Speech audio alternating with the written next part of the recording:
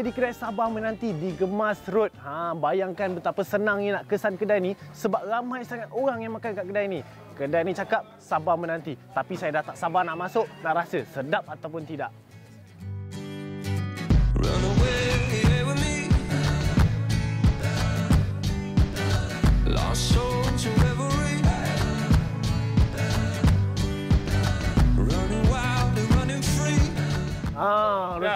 Makan dengan apa bang sedap? Ah, dia makan dengan dia ada daging kambing, ayam, dodol dengan special, roti satu, telur mata satu dengan daging RM4 bang. Ah, bagi sepinggan bang. Baik bang. Saya duduk dulu eh. Okey duduk dulu. And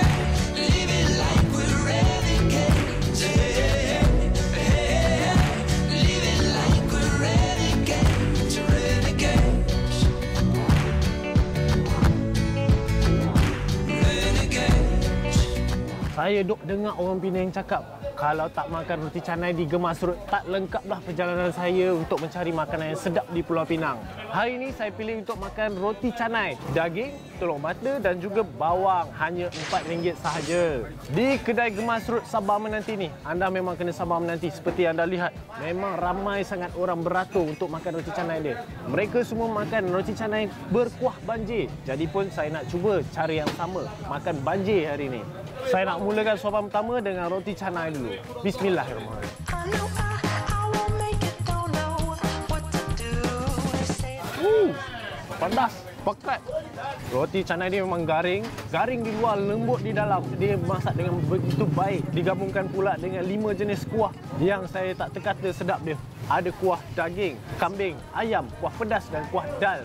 Bila kelima-lima kuah ni masuk dalam mulut, kombinasi dia sangat menjadi. Inilah yang menjadikan roti canai ini sangat istimewa. Uh, memang dahsyat.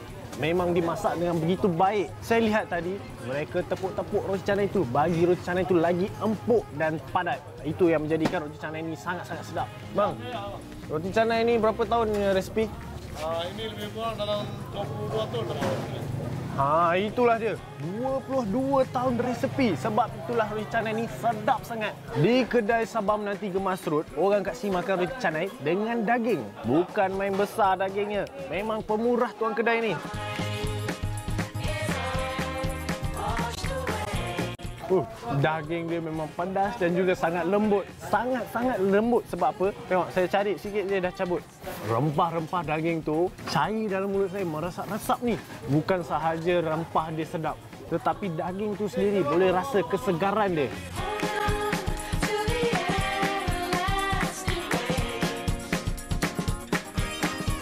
Uh, sambil saya makan roti canai yang lembut dan juga daging yang sangat-sangat pejal, saya boleh rasa rembesan bawang dalam mulut saya ni. Rasa rangup dia tu menaikkan lagi aroma saya nak makan lagi. Ha. Tadi kita dah rasa kuah dia pedas. Kita dah rasa uh, roti canai dia sangat berlemak. Bila dicampur pula dengan bawang ni, dia jadi lagi sedap. Sebab apa? Memberi rasa manis. Dia macam melengkapi satu sama lain.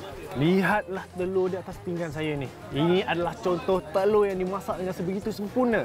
Saya dah tak sabar nak pecahkan telur ni. Saya nak makan. Uh, rasa lemak dia berlipat-lipat kali ganda dan dimasak dengan sempurna. Sempurna sangat sampai saya nak sentuh pun saya sayang. Kalau dia perempuan, saya dah ngorak dia dah.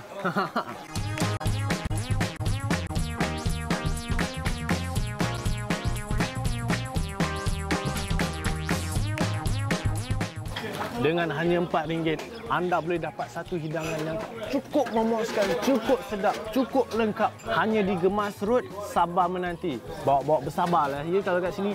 Sebab kat sini memang ramai sangat orang. Itu bermakna kedai ni memang terbaik.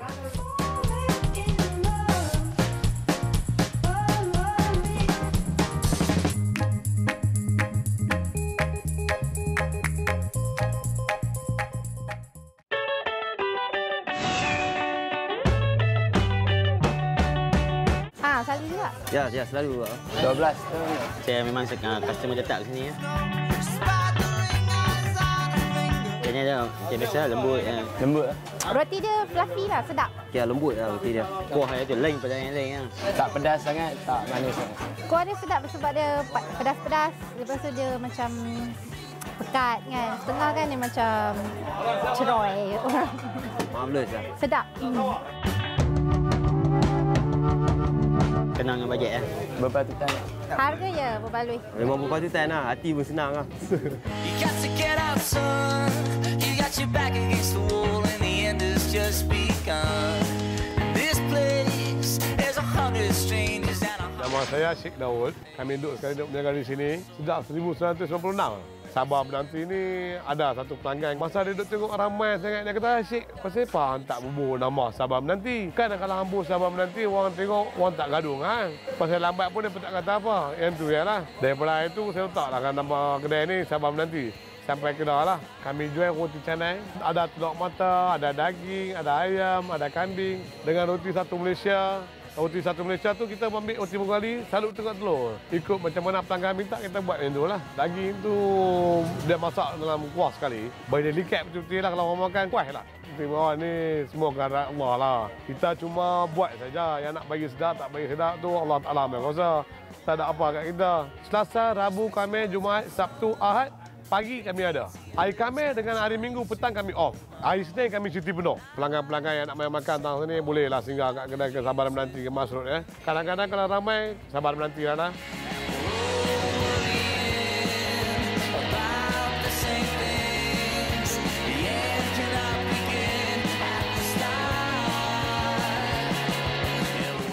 Terima kasih bang. Ya. Canai memang sedap. Baik, terima kasih banyak bang. Apa resipi-resipi boleh bagi tahu? Ya, tak boleh bang. Nanti nanti. Okey, jumpa lagi bang. Okey, bang. Okey. Ha, itulah dia makan pagi saya. Roti canai Sabah menanti di Gemas Road. Memang sangat-sangat sedap. Yang paling penting hanya RM4 saja. Kena dengan bajet. Saya gerak dulu.